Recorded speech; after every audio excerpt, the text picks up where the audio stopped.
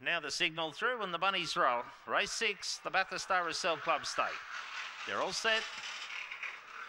Racing, Chocolate Fever got away nicely in the centre, showing pace there. Assertivosity with Marks Express. Trying to get up behind them was Desi's Girl. Oh, there's trouble there. One fell. That was Izzy Marlowe. Down the back, and the favourite Chocolate Fever shows the way. Assertivosity into second.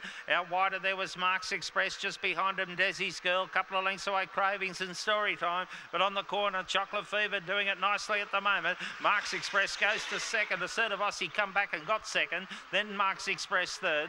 Then would have been Desi's Girl. Further back was Story Time Cravings, Autumn Rush, and the last one in looks okay is Izzy Marlowe. Winner of the favourite number two, Chocolate Fever by Buck Fever out of Fancy Jaffa.